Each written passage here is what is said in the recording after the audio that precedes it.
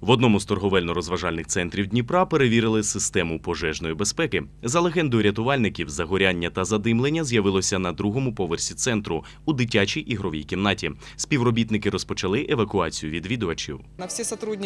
Всі співробітники діяли за інструкцією. Кожен знає, з якої зони та на який вихід виводити людей. Якщо загоряння відбувається на території ТРЦ, ми ведемо людей до свого пожежного виходу. Якщо у нас проводимо до центрального входу. За словами заступника начальника головного управління з реагування на надзвичайні події, до прибуття підрозділів ДСНС адміністрація закладу має своїми силами розпочати евакуацію людей та гасіння пожежі. По срабатыванию сигнализации При спрацюванні сигналізації електрик має зіструмити зону пожежі за своїми схемами. Має увімкнути аварійне освітлення, яке вказує на шляхи евакуації. Мають увімкнутися вказівники як на території самого комплексу, так і в місцях евакуаційних виходів. Перед входом у комплекс зібрались відвідувачі, яких евакуювали, і ті, хто проходив повз. Олександр переконаний, що не розгубився був в такій ситуації.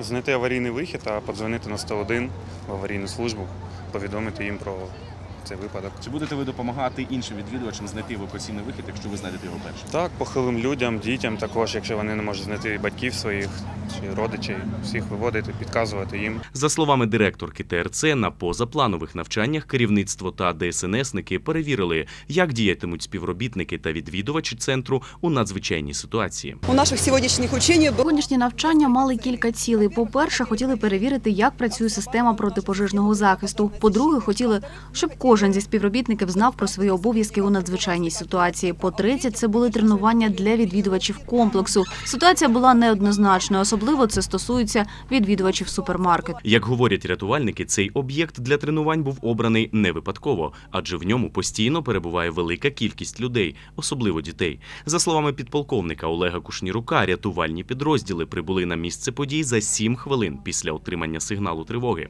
Ми робили все це раптово. Зненацька приїхали, заповнили зал ігроленду, е, надали імітацію диму та реального вогню на даху третього рівня фітнес-центру.